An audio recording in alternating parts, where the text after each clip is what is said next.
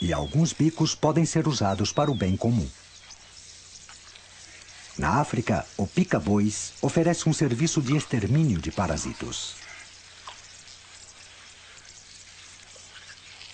Ele passeia sobre corpos gigantes, investigando todos os orifícios e reentrâncias em busca de pulgas e carrapatos cheios de sangue.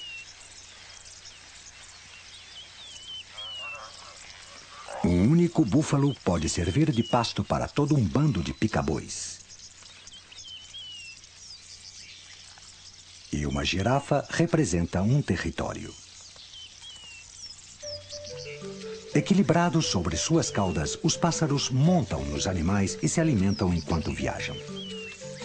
Até mesmo o material para os ninhos do pica-bois é retirado dos pelos da girafa. Suas garras prendem-se na pele do animal e com seus bicos achatados, eles investigam o pelo como se fosse uma equipe de barbeiros usando máquinas de tosquear.